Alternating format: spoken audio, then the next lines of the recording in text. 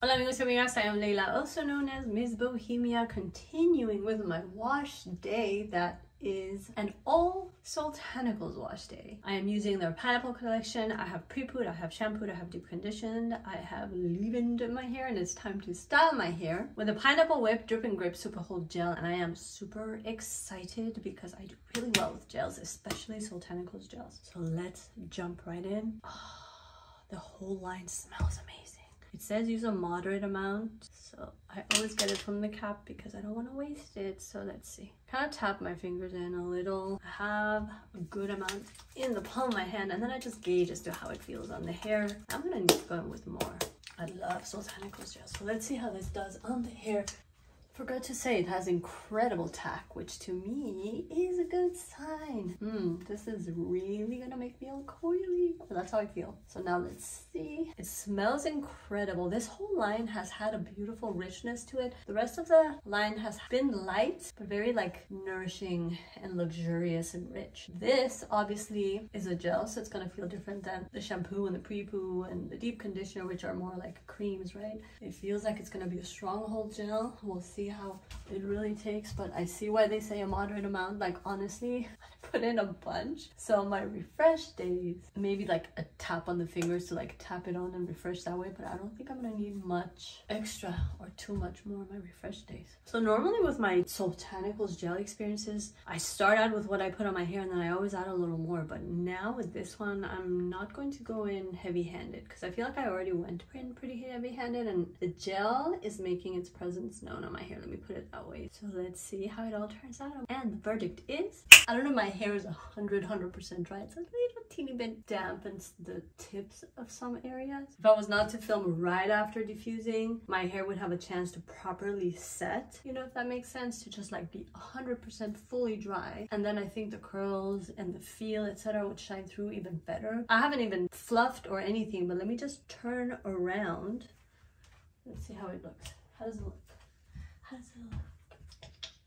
am feeling it. It feels so good. It feels super soft. Like the curl structure itself, very strong, really present, really amazing. Look at how far down it goes.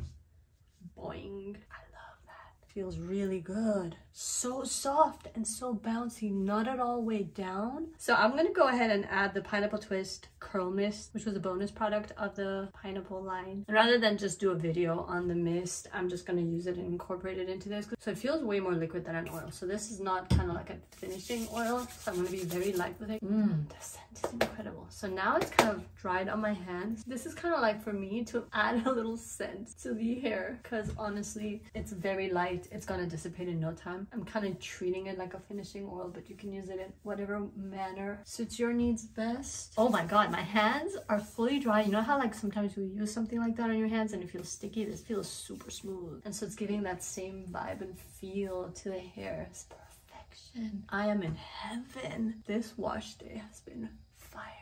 Soultanicals, y'all have another incredible success. Thank you, thank you, thank you. I do really well with all the Soultanical stylers, but mainly I've seen cream versus gel. I tend to gravitate towards the gels and this one is amazing. Incredible hold, but also your hair is very light, bouncy, and moisturized. So it's a win-win-win. I am back and it is day three I don't have makeup on. I am not dressed up because there's a lot happening. I don't have the bandwidth to do my makeup. I have a lot of work and stuff to do and I had to get up early, go to the dentist. So it's just been a messy day. And initially I thought I had to wash my hair on day four because on day five, I'm going in to get braids because next week, a week exactly from today, I'm getting hand surgery. If you're interested in why I'm getting hand surgery and what the hell's going on with my hand, I had hand surgery on my left hand, I'm getting it on my right hand and I talk all about my left hand experience up here. But because my schedule is chaotic and y'all know how it is when you're a curly girl and you have to schedule it in and when do you wash your hair and da da da da. It's even more complicated when you have to kind of schedule it in and try to look good for a YouTube video. So I'm like, listen, I'm just gonna come in vlog style, meaning no makeup and give it like a more casual ending. The products have been great. I have done really well with the pineapple line. I really, really like it. For day three, this looks really good. It feels really good, nice and fluffy and bouncy. Let me turn around.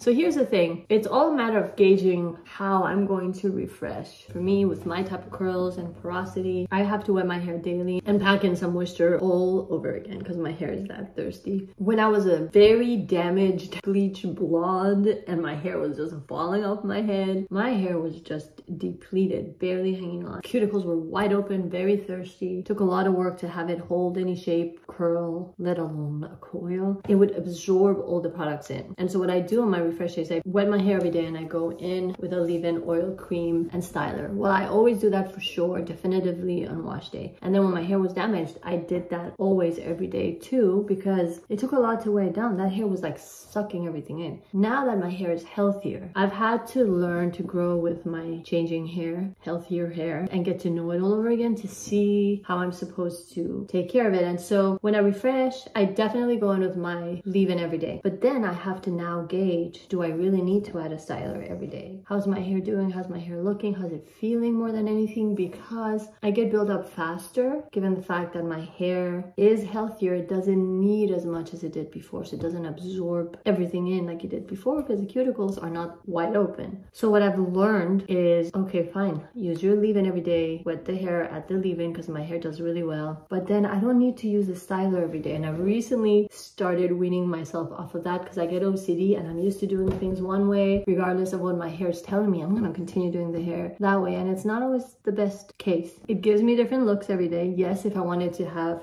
a cleaner, less frizzy, more defined curly day today, for example, I should have added the styler. But I treated my hair like I would if I was gonna go into like a five to seven day wash cycle. And when I do that, I have to gauge for longevity, how am I gonna style my hair? Am I gonna add the styler in every day? And so with the Pineapple Whip Drip and Grip Super Hold Gel, they also said use a moderate amount. And they were right, because it's a strong gel. So on wash day, it felt amazing. I was heavy handed. Second day, yesterday, I did add in a little more and it already felt like it was a little too much, but my hair looked very defined, incredible. But to the touch, I could tell like, okay, girl, you need to hold back a little or it's just gonna get built up fast. Through No fault of the gel, it's just my handling of it. And so today, day three, I'm like, listen, I'm home. I don't need my curls to look fabulous. And also I do like some frizz, so it's not gonna be as crazy defined as it can be. But you know what? I get more volume. It's still defined enough. The curls are crazy happy, super springy. So the gel is doing its work. It's just a matter of seeing how often do you apply it, how heavy handed do you go on day one, on wash day, and how do you incorporate into the rest of the cycle if you're the type of person who has to refresh a number of times before you wash your hair, which is what I am. So for me, if I was gonna continue this on into like a five to seven day cycle, tomorrow would have been day four. So day four, my hair feels fine, not too much buildup. So maybe tomorrow I would have like done tap tap, however much gel I can get like tapping a little into my fingers, spreading it into the palms of my hands. And after having applied my leave-in oil, maybe a tiny tap tap of cream, maybe not. Then I would have like tap tapped that little bit of gel just a little bit of kick to like hold me over. But I don't really need to add much more because it already is in the hair. I love it because hey it's doing its job. And a little goes a long way and this is gonna last you a while. It's an incredible product with an incredible scent. I normally don't review mists because I'm not really a mist type of chick although with Soultanicals I do own some mists because I'm like why not? And so the pineapple twist curl mist is kind of like a bonus product that I've added into this video because it was technically a bonus product but they send my way a little gift. I do use a little finish finishing sealing oil when I'm done fully blow drying my hair, also by Soultanicals. So all I've done is I've just sprayed like one or two pumps on my hands, rubbed it on my palms. I mean, you can spray it straight onto the hair, but I get like paranoid. It's like, listen, I just blow dried my hair. I don't want to spray anything wet onto it, which is why I do it onto the palms of my hands. Rub my palms together, let it dry a little bit before it's too dry and fully evaporated because it dries pretty fast. I put it on my hair, actually gives it a little sheen. Beautiful little whiff of a scent. It's nothing overpowering, but I like adding in a little bit of that pineapple scent because it smells amazing. And it's like a nice little mood pick-me-up. And that's been my routine with the whole pineapple line. This kind of caps off the series. I love this entire line. Another testament of the magic of Soultanicals. How do you like it? How do you use it? Anything and everything Soultanicals, comment below. Thank you guys for tuning in and I hope to see you in the next video. If you like this one, like, comment, subscribe, hit the notification bell to stay tuned for more. Ciao for now.